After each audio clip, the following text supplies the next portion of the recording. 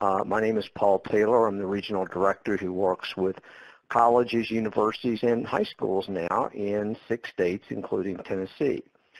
So I am in Lexington, Kentucky, uh, where my wife works for the University of Kentucky, and uh, I was a regional. I was a a um, vice president of enrollment management, so I worked on a college campus for more than 30 years before joining the clearinghouse. It's a pleasure today. This is my first opportunity. Colin Hutchinson, who is in our Herndon, Virginia office and is on this uh, WebEx as well, he's done the, uh, the all of the, the previous WebExes to talk about the Tennessee Electronic Transcript Exchange, how it works, but we're delighted to have so many people that have joined us today. So Lisa, we're going to pose a question here. And just for our purposes and just for fun, we'd like to know where are you located in Tennessee? So Lisa has put these questions up and you can let us know and we should see people popping up here in a few minutes. We know we have people in Chattanooga, but where else around the state are we going to find people?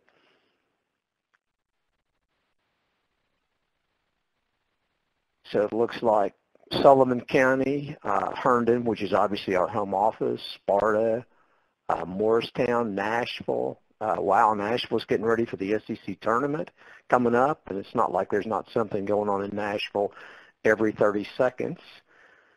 Uh, Sullivan County, uh, Fayetteville, Lincoln County. So obviously we have people located across the state, and I guess people are still going, uh, still going to be, be churning in with information here. So we're glad you're here. It's a pleasure for us to be able to, to do this. Um, and as we begin to think about the agenda and talk about the agenda, I'd like to uh, ask another question. How many of you, and Lisa will put this up, you can just check the marks uh, on the on the screen. How many of you are familiar with the Tennessee Transcript Center and what this uh, solution that the uh, National Student Clearinghouse, the Tennessee Higher Education Commission have come together to uh, let counselors and high school people in Tennessee improve their uh, improve really the way you're able to do business and some time saving. So wow, uh, the the results are are flowing in. I feel like I should be on uh, the night of the election. so we have uh, 77.7% uh, do not know. 22% of y'all do know. So we won't turn this into a Democratic Republican question, and we're only going to have one more question as we go through the whole thing. So I appreciate your uh, your engaging here with us, and it looks like 70 70% know and 30% don't. So that's, that's good. Let's just know where we are. And as we think about the agenda, uh, I'd like to be able to say, gosh, just chime in with questions. But if you've ever done a WebEx where uh, multiple people have access to the uh, voice, it can turn ugly really quick. So we're going to ask you to pose those questions in the chat, and we'll try to get to those toward the end. So our agenda today, we're going to talk a little bit about what's the reality of a high school counselor. Now, my mom was a high school counselor. It was a whole lot different back then, but I promised you, uh, promise you that she sent a ton of transcripts across the country for my graduating class and many graduating classes that preceded me and followed me. So we want to think about, you know, how is it that your day works?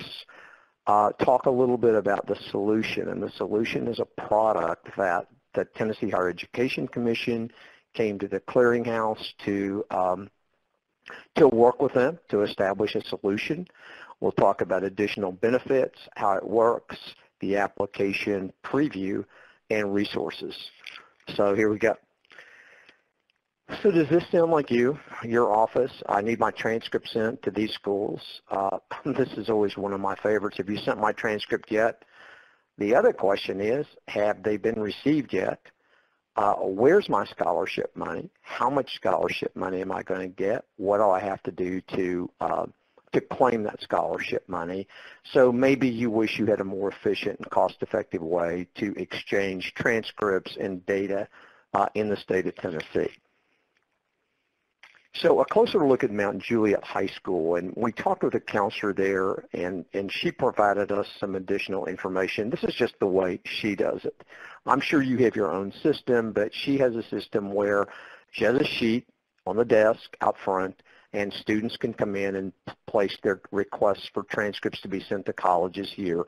Place it on the sheet, date required, first, second, third college, and then the notation for her on the right-hand side as to when these are sent.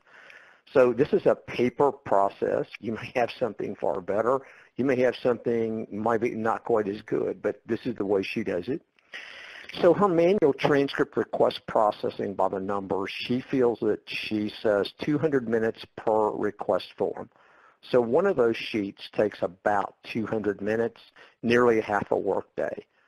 Uh, at Mount Juliet, she has 500 seniors, 94% are college bound, and that resulted in 1,400 transcripts being sent last year. Let's see if we can make this move forward here. Yeah. Uh, the material costs alone to send 1,400 transcripts, I mean, you're looking at 5,000 pieces of paper, 1,400 envelopes, uh, ink, $700 in postage. So the cost of sending transcripts is not just in the uh, person power that you're dedicating in your office, but it's also real money. So as you look at the benefits to Mount Juliet for using this solution, uh, she's changed her processes. So the left-hand side is the way it was before. The right-hand side is using the Tennessee Transcript Exchange Network.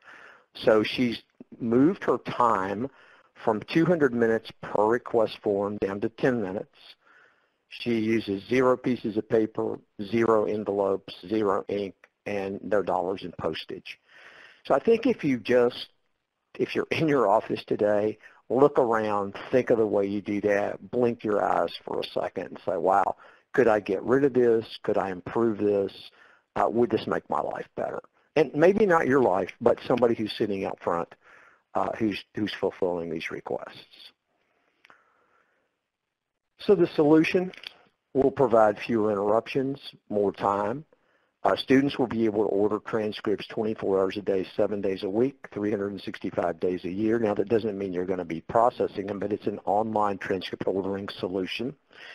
A central location for receiving and processing transcript requests, and obviously reduced material use, cost savings, etc. Uh, Colin and Lisa, I'm going to ask if y'all uh, feel free to jump in at any point in time that you have any any you know recommendation or anything that we might want to expound on here or expand either one. So additional benefits, there's an automatic uh, lottery scholarship GPA transmission that goes to eGrants. Uh, the clearinghouse is not your is not some maybe your normal partner. We're a nonprofit. Uh, we've been around for 25 years. We work with um, 3,700 colleges and universities, and the number of high schools is in the in the in the big thousands. So we're delighted to be able to provide a service. We're not this whole thing is free. It doesn't cost anybody anything. There's no subscription fee for you, no annual maintenance, no ordering fees for students, uh, nothing. And I see that we have Suzette Telly on, the, on this call as well. She is with the Tennessee Higher Education Commission, and that is the organization that came to the clearinghouse looking for a solution across Tennessee. Uh, y'all may know, or you may not know, that across Tennessee, you're making some real strides nationally in terms of your uh, your higher education goals, uh, the the desire to provide more Tennesseans with the opportunity to get college, whether it be four-year, two-year technical uh, technical uh, diplomas, degrees, certificates. So you're making a name for yourself when you hit the USA Today and you hit the Wall Street Journal with what's going on in Tennessee. And you know all of this idea that we're we're talking about today, this concept is to improve attendance for students in Tennessee uh, to move forward into a higher education uh, opportunity. So Suzette, if you've got anything you want to add here, you just uh, uh, text or, or, send a note to Lisa, and we'll open your open your phone up and let you uh, let you speak here. Uh, we're going to talk a little bit about how it works. So this is going to be my last question of the day. We're going to put up another going to put up another survey, and this survey is asking you what kind of student information system do you currently have, are you currently operational with? So we have some choices up here, and I was amused when I, Lisa Black put this together from our office, and I was amused when it said, what's an SIS, but that it looks like we have at least one answer with uh, what's an SIS at this point. So what we mean by SIS is what's your student information system? What do you run your records from? What do you run your class scheduling from? The usual suspects are here. But sometimes you run uh, uh you run a system you, you don't have an SIS. You register your students, you produce transcripts, kind of in a homegrown solution. So yeah, let's see, we got 2, 4, 5, 10, 11, we got 12 answers so far. Um, so it looks like PowerSchool is the is the most it's used the most. We have some some of the each of the others as well. So an SIS is simply the student information system that, that will help you generate transcripts, on a college campus, it runs your registration process and grades and all those sorts of things. So the way it works, to go back to our slide, is that the high school uploads to us through that student information systems. The file is going to be uploaded through a secure FTP account. So a secure FTP account is a file uh, file protocol here that encrypts this information. So as you're sending this from Nashville to the to our offices in Herndon, Virginia, uh, it'll be encrypted. So if anybody ever tried to access that file, it would mean it would be nothing to them. So it's a secure FTP, FTP account, which we then load into what we call the Tennessee Transcript Center. From the Tennessee Transcript Center, your students can order, uh, your high school alums can order a transcript. That information will be sent automatically to the Tennessee Higher Education Commission. Uh, the data will automatically upload to eGrants. Your high school staff can move transcripts, so you can move transcripts through us out to colleges and universities. So if you've got a transcript that a student orders today to go to, um, I'm going to, I'll just pick a college, Chattanooga, uh, Chattanooga State then that transcript can be uploaded and sent uh, through us through the electronic exchange system to Chattanooga State. So it's a busy slide, but it kind of gives you a conceptual idea of how the solution works. When we talk about the application preview, I, I want to talk more about, so here's the, here's the body a username, password, but how do you, how you get here is really what's going to be important to you. So I can show you what it looks like here. So here's your username, your password, your login. Then this screen, which is very busy, is going to give you an opportunity. This is kind of what you'll be able to see uh, in terms of on your once you're in the site. So items requiring attention, and this is very difficult to read, but it could be incoming transcripts, it could be transcript orders, it could be various pieces of information. Uh, I'm used to being able to click this in a different place. So here's an opportunity to send student documents. You can send one transcript. You can send various pieces of information. This will give you the, um, you can manage your student documents here from the site. It will give you the opportunity to see your top 10 student document uh, destinations. So where are my transcripts going? To what schools? So it's a, it's a, uh, it's a solution here that once you sign up and are and work with our implementation team to get this done, what we've heard from counselors is it's a lifesaver, it's a lifeline, and it's a very, very attractive product. Uh, getting you there is what is what you know makes the difference. So Colin, anything that you want to add here to this slide, given that you're the, Colin is the, uh, Hutchison is the product manager for the Tennessee Transcript Services area. Colin, anything you want to add here? You did a quite thorough job there, Paul. Thanks for um, letting me chime in too. Uh, basically, one of the other things that tends to be a question down the road, and we don't, of course, need to show you everything and all the ins and outs of the application today, and we'll bring you up to speed once you do, in fact, go live. But as Paul mentioned, the piece that he's highlighted on right now, which is that dashboard. It's a 30-day rolling dashboard just showing you over the last 30 days where your transcripts have gone um, and the top 10 institutions. But notice that in the bottom right where there's the reporting header, you can actually run other reports on different timelines and uh, given different factors. So that's not the only type of reporting that you have at your disposal is that dashboard. You can always go back and run over an entire academic year, any sort of custom date range, um, and so forth. But ultimately, um, you know, what Paul touched on are the big items for you to understand when you engage with the product and finally do go live. The only other thing that I'll add is uh, just looking back, uh, as Paul touched on briefly when we were looking at the additional benefits, was again that we are integrated with Tennessee Higher Education Commission and Tennessee Student Assistance Corporation and the uh, e-grants process. So um, just know that that's something very unique uh, given the relationship that we have with Tennessee Higher Education Commission in that this isn't just transcript exchange between you and uh, colleges and universities or you and even high schools as students transfer, transfer within the state.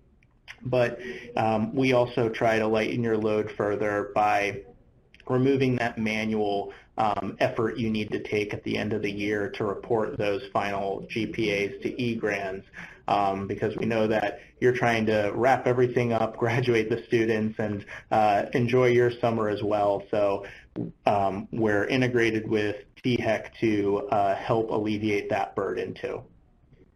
So Colin, while you're on the phone, yeah, a couple of questions. One from uh, Jill Rochelle, and Jill, I might have pronounced that incorrectly. Uh, what has to be included on the transcript? Does the transcript have to be signed or can it be electronically submitted? And can you indicate additional uploads if all ACT scores are not listed or the current class schedule?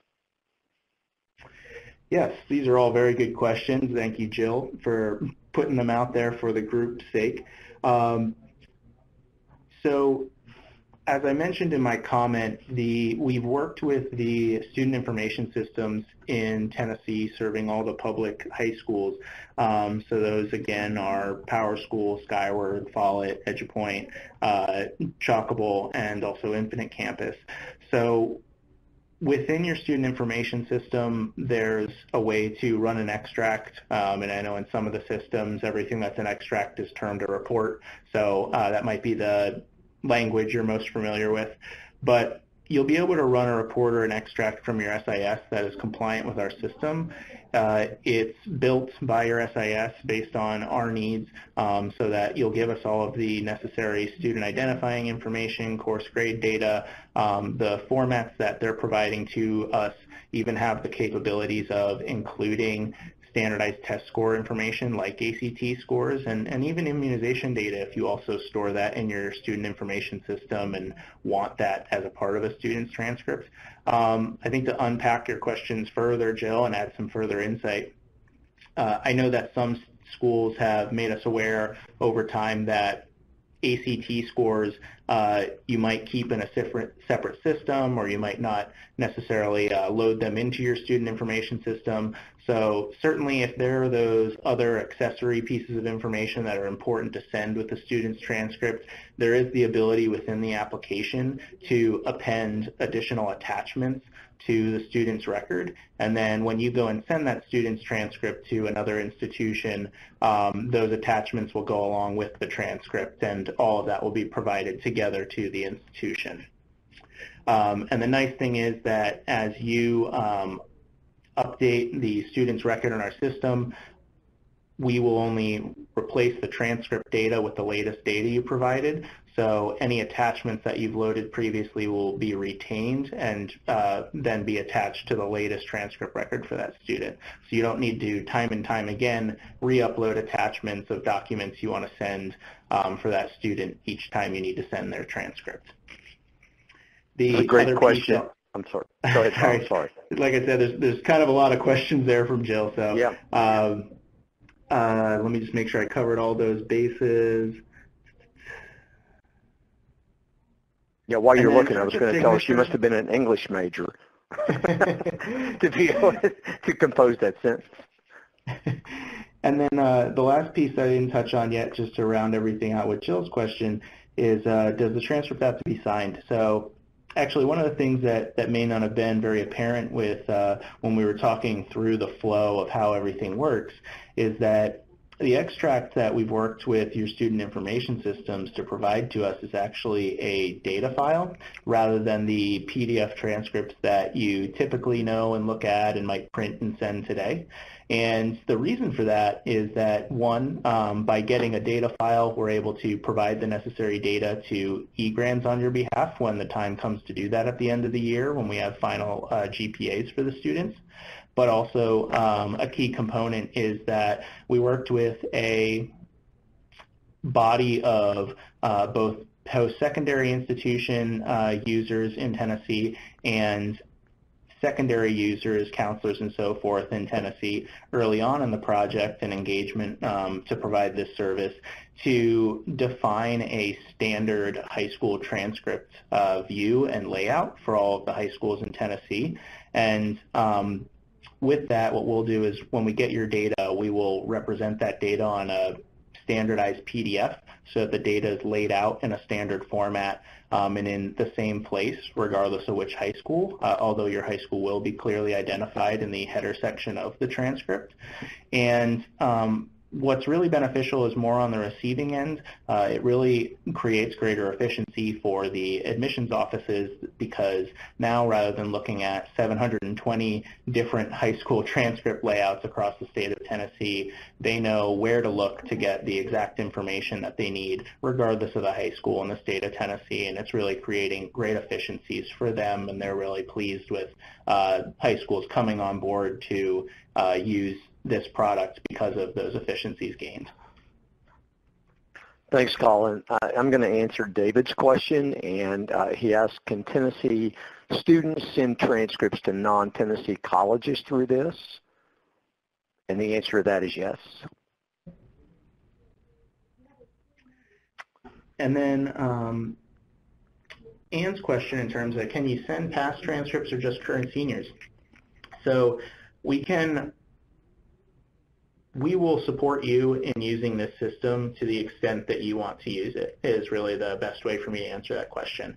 Um, what you'll find when we go through the implementation process, just to focus our efforts and not uh, bury you uh, or us in trying to pull up all of your data at one time during implementation um, for, for many, many years of students, is we'll direct you to just pull your current seniors and load those, and we'll go through the validation that everything's loading appropriately and being re represented appropriately, looking at your senior class as a sample set cohort. But once you do go live, uh, we've certainly worked with uh, a number of customers to then go back and work on um, uh, uploading previous graduating classes and things of that nature uh, so that you can use this more comprehensively um, for a large majority of your transcript exchanges that you need to do um, beyond just your current senior body. Uh, and then also another light question we usually get is, can I send my juniors for those that might be applying early and need their transcript sent um, beyond, before their senior year comes around?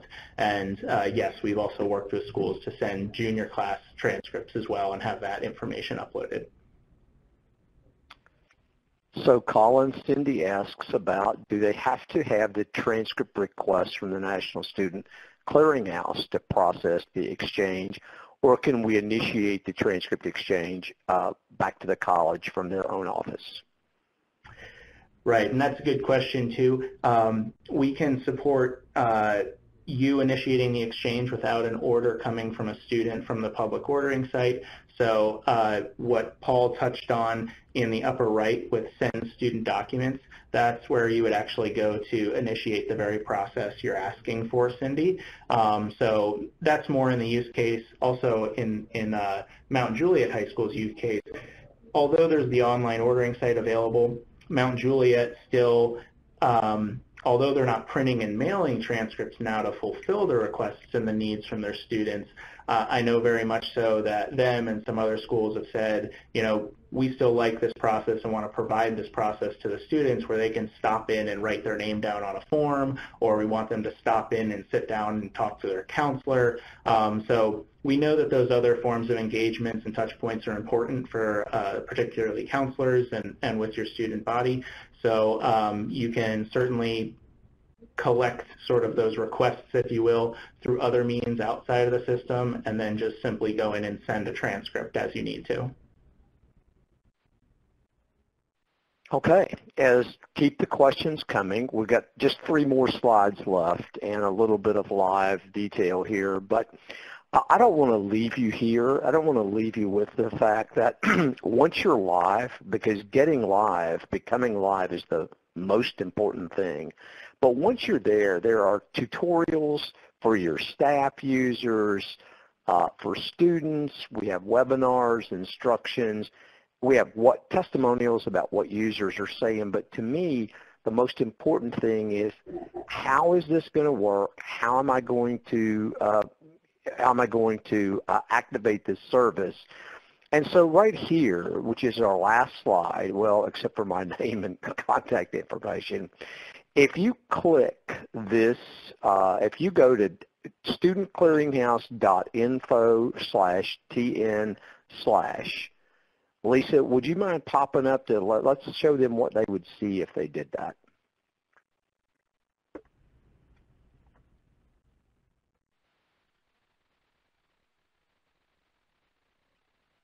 So the first click will take you to the Tennessee Electronic Transcript Exchange today.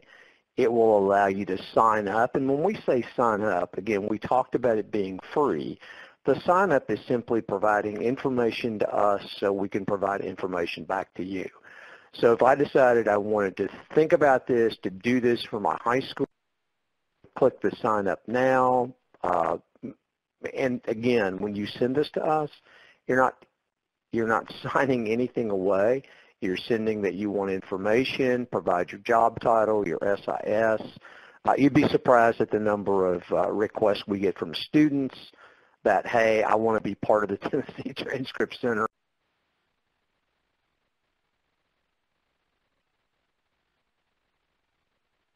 Opportunity then to, again, at a no charge, no fee agreement, uh, to be able to get started. And at that point, we will assign an implementation partner from our office to work with you uh, to make sure that this goes well and you are able to implement the solution.